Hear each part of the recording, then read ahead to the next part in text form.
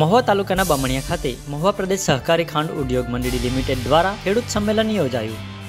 આદિજાતિ રાજ્યમંત્રી શ્રી કુંવરજીભાઈ હળપતિ, વન અને પર્યાવરણ રાજ્યમંત્રી શ્રી મુકેશભાઈ પટેલ, સાંસદ સી આર પાટીલની પ્રેરક ઉપસ્થિતિ શેરડી પાકમાં મહત્તમ ઉત્પાદન મેળવનાર ખેડૂતોનું સન્માન મહુવા તાલુકાના બામણિયા ખાતે મહુવા પ્રદેશ સહકારી ખાંડ ઉદ્યોગ મંડળી લિમિટેડ દ્વારા આદિજાતિ રાજ્યમંત્રી શ્રી કુંવરજીભાઈ હળપતિ, વન અને પર્યાવરણ રાજ્યમંત્રી શ્રી મુકેશભાઈ પટેલ અને પ્રદેશ ભાજપ અધ્યક્ષ અને સાંસદ શ્રી સી આર પાટીલની પ્રેરક ઉપસ્થિતિમાં ખેડૂત સંમેલન યોજાયું હતું, જેમાં આધુનિક ખેતી પદ્ધતિ થકી ઓછા ખેતી ખર્ચથી વધુ ઉત્પાદન મળી રહે તેમજ પ્રધાનમંત્રી શ્રીની પરિકલ્પના મુજબ ખેડૂતોની આવક બમણી થાય, ટપક સિંચાઈ પદ્ધતિ અને પીએચ સહકારી મંડળીઓનું આધુનિકરણ તેમજ નવી સિંચાઈ મંડળીઓ બનાવી પિયતની સુવિધામાં વધારો કરવા માટેના આગામી આયોજન અંગે વિચાર વિમર્શ કરવામાં આવ્યું હતું. આ અવસરે મંત્રીશ્રી મહાનુભાવોના હસ્તે શેરડી પાકમાં મહત્તમ ઉત્પાદન મેળવનાર પાંચ ખેડૂતોને સન્માનિત કરાયા હતા. તેમજ સાત નોમિનલ સભાસદોને શેર વિતરણ કરાયા હતા. સરકારી સહાય મેળવનાર અને ઉત્કૃષ્ટ ઉત્પાદન મેળવનાર અનુસૂચિત જનજાતિ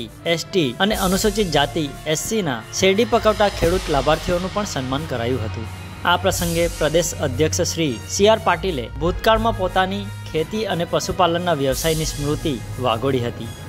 તેમણે જણાવ્યું કે કૃષિ વ્યવસાયમાં સખ્ત પરિશ્રમ પૂર્વશરત હોય છે, પરંતુ હવે સરકાર દ્વારા ખેડૂતોને અનેકવિધ સહાય આપવામાં આવે છે, જેથી ખેડૂતો આધુનિક મશીનરીના ઉપયોગ વડે સરળતાથી ખેતી કરી પગભર બન્યા છે. વડાપ્રધાન શ્રી નરેન્દ્રભાઈ મોદી ખેડૂતોને કૃષિના ઋષિ સ્વરૂપે આત્મનિર્ભર બનાવવા અને કૃષિમાં મૂલ્યવર્ધન કરી આર્થિક સશક્ત કરવા પ્રતિબદ્ધ છે, જેને અનુસરી રાજ્ય સરકાર પણ રાજ્ય સરકાર ખેડૂતોને કૃષિ તાલીમ અને માર્ગદર્શન, યોજનાકીય આર્થિક સહાય ઉપકરણ સહાય થકી ઉન્નત કરવા સતત પ્રયત્નશીલ છે. વધુમાં શ્રી પાટીલે કહ્યું કે, રાજ્યપાલ શ્રી આચાર્ય દેવવ્રતજી પ્રાકૃતિક કૃષિના પિતામહ સ્વરૂપ છે. જેમની પ્રેરણાથી લાખો કિસાનોએ પ્રાકૃતિક ખેતી અપનાવી છે. રાજ્યપાલ શ્રીના બહોળા જ્ઞાનનો લાભ ગુજરાતના ખેડૂતોને મળી રહ્યો છે. ત્યારે ડાંગ જિલ્લો સંપૂર્ણ પ્રાકૃતિક ખેતી કરતો જિલ્લો બન્યો છે. રાજ્યને દેશભરમાં પ્રાકૃતિક કૃષિ ક્ષેત્ર રોલ મોડલ બનાવવાનો સરકારનો પણ અવિરત પ્રયાસ છે. ખેડૂત કલ્યાણની યોજનાઓની સહાયના નાણાં સીધા